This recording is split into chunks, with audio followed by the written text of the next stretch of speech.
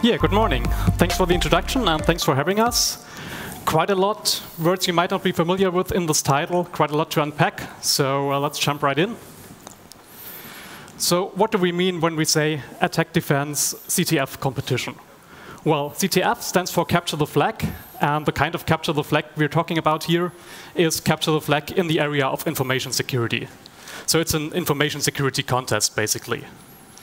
So in such a contest, you have an organizing team, and they provide some services, some pieces of software written specifically for that contest, and these do have deliberate vulnerabilities in them. So teams, as participants, they compete, and their job is to find these vulnerabilities and to use them.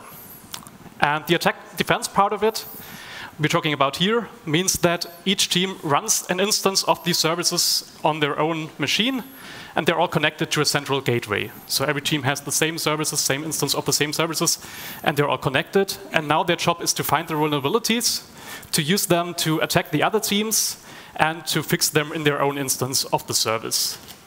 And when they attack the other teams, they can steal so-called flags from them. So flag is just a little secret. And uh, when you steal it from another team, you can then hand it in with the organizers and score points for it. So why are we talking about all of this? Well, as uh, Dylan already mentioned, we're part of the organizing team behind Faust CTF. Um, we started doing that as students and now continue to do so as volunteers. So this has actually very little to do with our day jobs. Um, we've done it seven times since 2015. And Faust CTF is one of the major online attack defense CTF competitions. So the online part means that teams are not on site with us. That's something other people do, but they're connected through a VPN to our contest network. So what does this network look like? Well, you can see here we have on the one side checkers and on the other side two teams. Of course, there are more teams in practice. And the checkers and the gateway are hosted by us as the organizers. And the role of the checkers is to distribute new flags to the teams so that they can then be stolen by the other teams, and to also check for the availability of the services. So, of course, a team could just turn off their machine and not be attacked anymore, and we want to prevent that, so the checkers also check that everything is working all right and that the services are actually working. So this leads us to the main topic of our talk, which is that teams should not be able to, to be not be able to distinguish between different types of traffic. So they should not be able to distinguish between different teams attacking them, and they also shouldn't be able to distinguish between checkers and uh, the teams. Because otherwise they could just block away all the traffic from uh, the other teams and not be exploitable anymore, but still allow all checker traffic, and to us as the organizers, it would look like everything is all right. So fingerprinting in this case could happen at different layers. It could happen at the HTTP layers, so looking at some header contents or details of the HTTP implementation. And uh, it could also mean looking at details of the TCP implementation of the TCP stack. So there's always implementation, details in those. And there's tools to do this kind of fingerprinting. Most prominent one being POF P0F by Mikhail Zalewski. So for the rest of this talk, we're going to just look at one client, one server, um, Checker acts as the client, team acts as the server, and we have the gateway in between. Let's first look at the role of the gateway. So the gateway, first of all, does all the routing. It's basically a router machine for all the traffic in the competition network. And in our case, it also terminates the VPN connections of the teams. And from the beginning on, it already prevented the very trivial kind of fingerprinting, if you want so, which is just looking at the source IP addresses.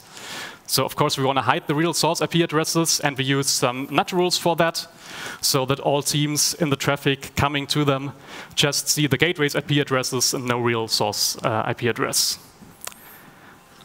So after some additions, we asked ourselves, can we do more than that? Can we even prevent more kinds of fingerprinting? Can we uh, hide more details which would allow you to fingerprint? And then it was our former co-organizer Malte Kraus who came up with the idea to use HAProxy for that. And I have to admit, I personally was very skeptical at first. Well, I thought, isn't HAProxy just this kind of reverse proxy load balancer kind of thing, about which we've heard a lot about uh, uh, here at this conference? And uh, yeah, of course it is, and it's quite good at that, but our use case is really different. We want to um, redirect traffic to any destination then do our anonymization, then pass it on to its original destination. And I was skeptical if we could really do that. But uh, yeah, turns out that we can. And Simon is going to tell you more about that now. Right. So we now focus on the implementation. So um, we have the client on the left and uh, the server on the right, and the gateway in the middle. And traditionally, as Felix mentioned, it's, it's just a router. So the client sends a request, the gateway forwards it, and it passes on to the server. Now, we want to redirect the traffic onto the gateway so that we can use HAProxy to um, perform the anonymization. And we can use a, a Linux firewall iptables for that. Um, it provides us with a T-proxy target, which stands for transparent proxy, and um, which exactly redirects the packet to the local machine so that we can process it further. So the command shown um, is, is, uh, is, what's necessary. Um, we're using IPv6, so it's ip6tables. Um, it's a Mangle table pre-routing chain and in this example, we are uh, intercepting TCP uh, port 80, where our service will be running. Then we use T-proxy to redirect it to the local host, and, um, and on uh, to port 5001, where HAProxy uh, will be listening. Though in theory, that should uh, be enough and it should work, but it doesn't. We also need um, to use policy-based routing to add a second routing table um, to redirect the traffic onto the local machine. And uh, the two commands here do exactly that. So the tproxy mark option um, tells the kernel, please mark all packets affected by tproxy and um, label them. And the IP6 rule command um, acts upon this mark with a uh, uh, FW mark 1 and puts all packets matching into uh, the separate routing table. And then the route itself, it's just uh, redirect all packets to the local machine, which is a local keyword is a um, relevant part here. Now, the packets end, uh, end up on the local machine, but that is not enough, because um, HAProxy would just ignore them, because the destination is still the server on the right side, and the IP address of the server is not configured on the local machine. And to fix that, uh, we can use the bind transparent option, which um, tells HAProxy accept traffic for all connect uh, for all destinations, and not just uh, the addresses on the gateway. And then HAProxy will do its filtering, and then connect back to the original destination. And how that works, we're going to look in a second. So first, the configuration. Um, for the example config here, we are just going to look at uh, the HTTP mode, but TCP um, works basically the same. Um, though, um, we're going to disable all retries because in a CTF challenge, it's often the case that teams are offline, they are down, the services are not available, and we don't want to create any additional traffic. So we just disable it, and if a team is down, a proxy will return an error and be done with it. Then we want to disable HTTP keep alives um, with the HTTP close option. Um, we do that so that we split um, multiple requests into multiple connections uh, in the hope that it makes them more anonymous and um, prevents teams from figuring out if that they are related. And finally, we are using relatively low timeouts, though that team uh, that requests fail quickly. As I said, in a CTF challenge, um, services are often broken or not uh, up all the time, and we want to fail fast. Though, now the front end is where the interesting uh, part happens. As I mentioned, uh, we have bind transparent to accept traffic for all destinations. And then we have option accept uh, invalid HTTP request. Um, that might sound confusing, but uh, challenges in the CTF uh, setup can depend on bugs in the implementation and the services which are provided. And we want to give teams the possibility to exploit these vulnerabilities, and we don't want HAProxy to uh, interfere with that. And finally, uh, the anonymization, which is with, uh, which just deletes all headers not listed here, the HTTP request del header.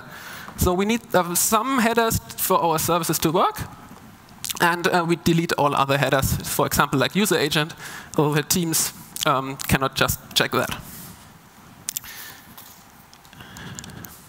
So in the back end, now the task is to connect back to the original destination.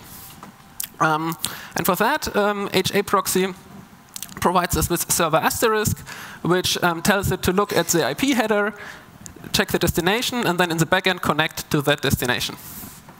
And as I mentioned, we are using IPv6, So um, we need a special prefix, which is IPv6 add, um, or it won't work. Um, we leave the source selection unchanged, so it will just choose um, a, a, a default address. And then uh, finally, with HTTP response add header, we are adding a custom header to let the teams know um, that we are doing proxying and they are not confused if the behavior changes from a traditional setup. And that's basically the whole configuration. Um, we have the kernel with tproxy and um, the, the policy-based routing, and then the HAProxy front end and uh, backend to connect back to the original destination. And with that, back to Felix. Thanks. So as Simon mentioned, we're using automatic source address selection for the connections to the back end.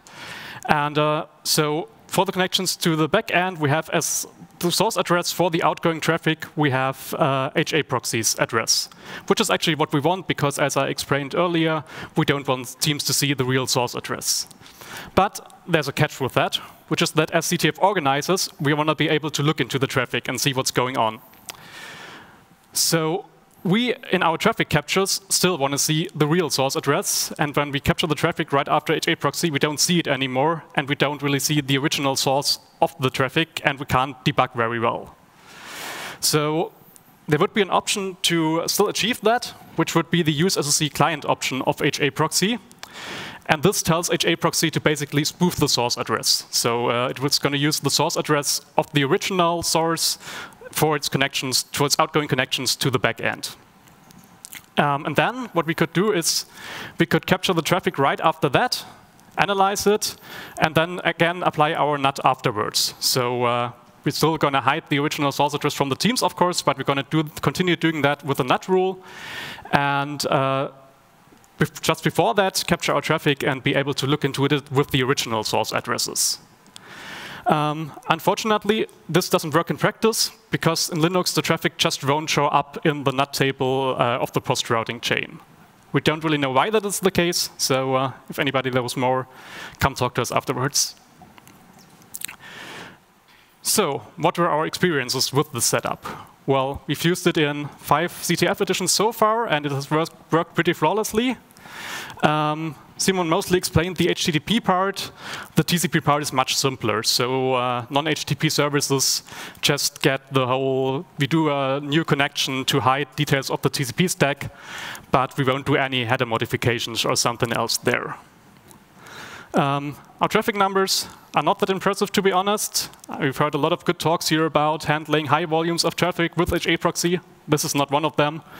We have a few megabytes per second of traffic, but yeah, nothing too interesting in, in terms of volume here. Um, we started using it with IPv4, and we switched to IPv6 uh, in 2020, and that also worked without any issues. We're using the HAProxy Open Source Community Edition, just the packages from the Debian repositories. Nothing too fancy here, no enterprise customers. And yeah, we're striving for completely transparent proxying, but what you can see here is that this doesn't always work in practice. So you do have cases like timeouts at the back end or uh, closed ports at the back end, and we can't really resemble the original behavior with HAProxy in those cases. So what we do is we just uh, show this error message you can see here. So finally, let's talk about what we could do in the future. As I just mentioned, we don't have impressive traffic numbers. In fact, we don't have any traffic numbers at all right now. We're really lacking some observability, so we probably should have attended the workshop on that on Monday. But we didn't. But maybe we're still uh, going to get some observability in the future. Um, another idea would be using TLS uh, for the CTF services. We don't do that at the moment. And also in that case, we as organizers still want to be able to look into the traffic and introspect it. So HAProxy could also help with that. And that would also be the foundation for some more advanced protocols like HTTP 2 or HTTP 3 with QUIC, about which we've heard a lot of interesting stuff yesterday. Um, yeah, maybe we're going to have more of that in the future. And finally, there's the idea to use nftables instead of iptables. So that might maybe allow us to be, us to be more flexible and solve the problem uh, I discussed previously with the traffic not showing up in the right iptables table. Um, maybe nftables can help there and be more flexible. So with that, uh, we thank for your attention. Thanks for having us. If you want to participate in Faust CTF, uh, go maybe find a team to participate in, and I guess the next edition is going to be in summer of next year. Now we have some time for questions.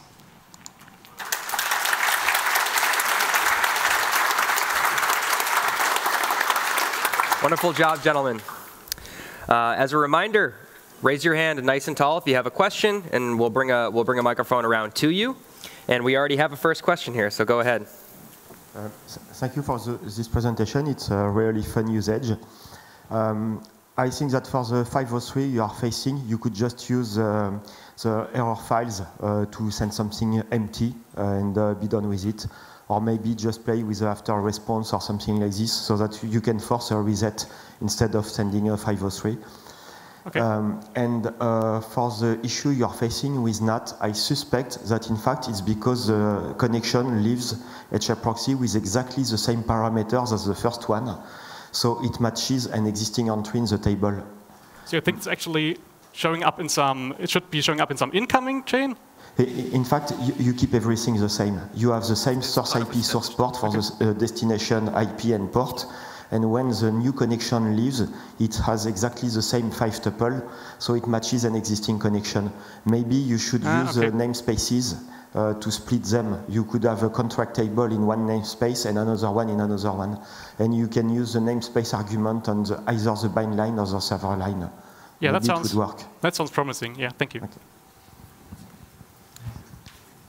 As a reminder, if you're online, you can submit a question in the stream, and I'll read them out here. Uh, we do have a couple that came in. One I think you already answered, but maybe just to say again and more information, who can join a CTF competition? And maybe point, point them where they could find more info. Yeah, so basically anybody can do it. Um, in practice, it's wouldn't recommend doing it alone, so uh, it's good to find a team.